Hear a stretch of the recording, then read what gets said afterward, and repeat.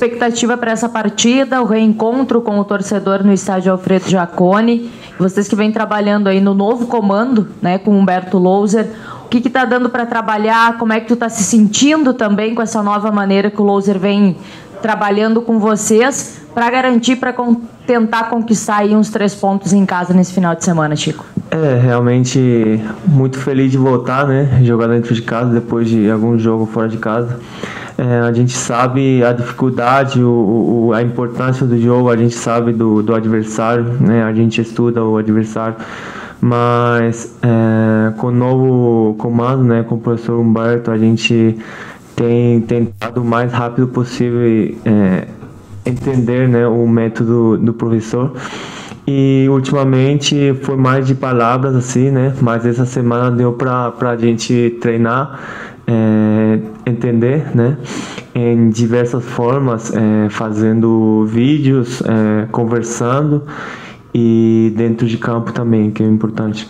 Então acredito que que a gente vai fazer de tudo, né, de, jogar dentro de casa. A gente sabe a importância, sabe a força que a gente tem com, com, a, nossa, com a nossa torcida. Então a expectativa é muito grande, né? A gente se prepara muito bem para fazer o melhor. E espero que sábado a gente possa fazer um, um jogo importante, um jogo bem, né?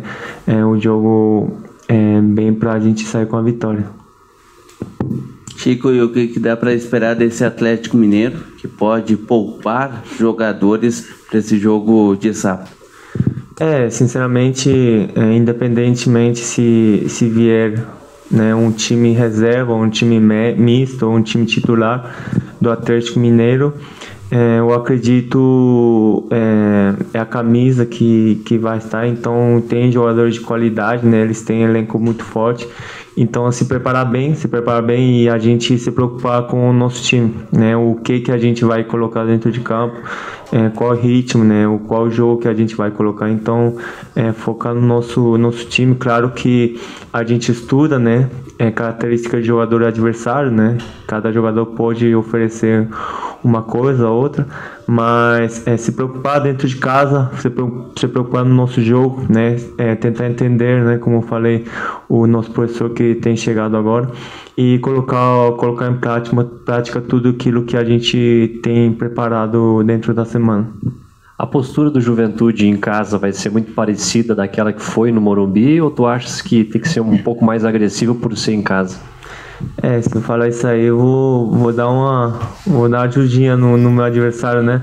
Mas eu acredito, não vou falar em detalhes assim, mas é, é, força, garra, é, determinação que sempre a gente teve é, não vai faltar. Eu acredito que é, todos nós estamos bem, bem focados, né? É uma clima nova, um ambiente novo, né? Com a chegada do professor. Então, fazer de tudo, né? Tudo aquilo que a gente já sabe, a gente já conhece, colocar em prática é, para sair com a vitória. Precisamos do resultado, né?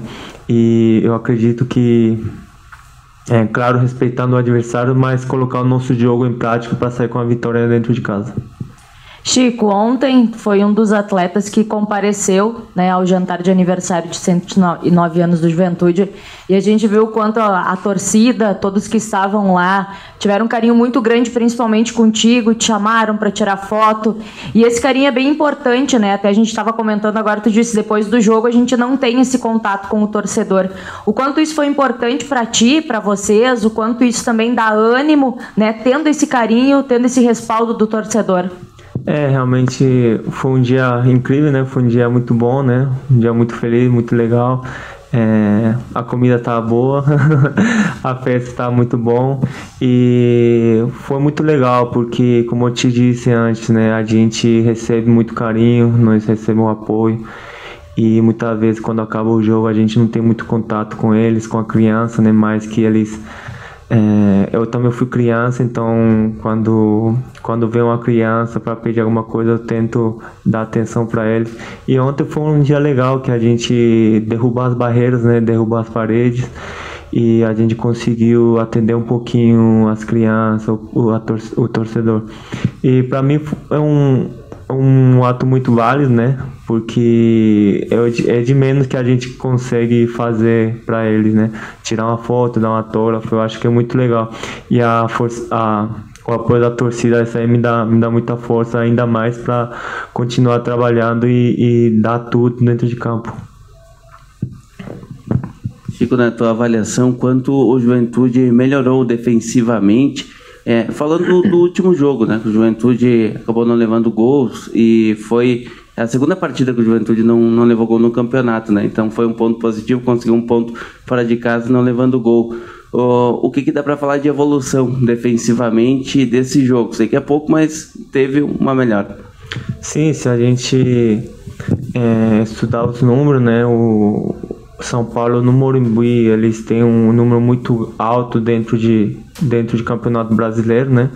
Então a gente conseguimos sim anular alguns jogos, alguns jogadores e eu acredito que a parte defensiva, né, assim como a parte ofensiva, o professor tem falado que não começa só os defensores, né, na hora de defender. E nem também para atacar não começa somente com, com os atacantes.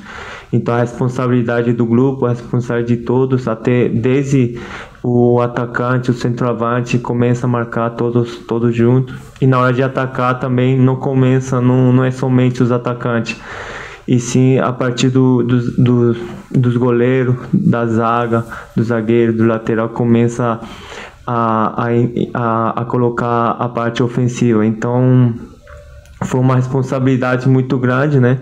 E foi um, um conjunto dos jogadores que ficaram muito focados, né? Que cumpriram algumas, algumas coisas que, que o São Paulo tinha o melhor dentro de casa. E, e parabenizar o grupo, a entrega que tem feito, o bom jogo que tem feito para sair com resultado positivo jogando fora de casa dentro do Morumbi. O Juventude pode aproveitar o fato do Atlético estar tá focado nas oitavas da Libertadores, daqui a pouco não está tão focado assim no brasileiro nesse jogo? Sim, eles, eles têm um jogo muito importante na Libertadores terça-feira, né?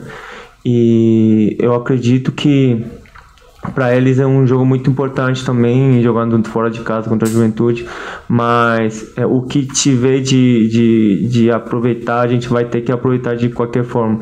Então, de, jogando dentro de casa, independentemente os jogadores que, que o Atlético Mineiro vai colocar, tem que aproveitar da melhor forma para valer a pena jogar dentro de casa, porque jogar fora de casa é difícil. É, então, dentro de casa, a gente somos forte e tentar aproveitar e, e buscar esses três pontos.